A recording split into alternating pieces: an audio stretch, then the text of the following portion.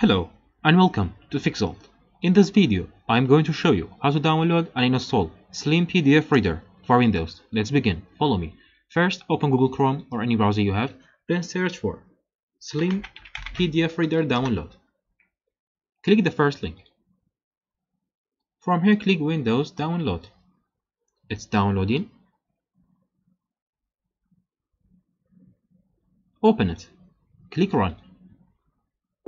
From the screen, click Yes. Click I accept and click Next. Click Next.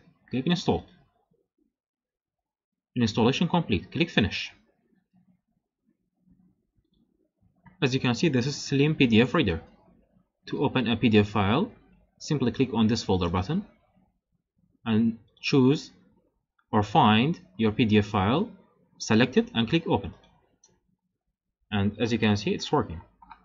So this is how to download and install Slim PDF Reader for Windows. Thanks for watching.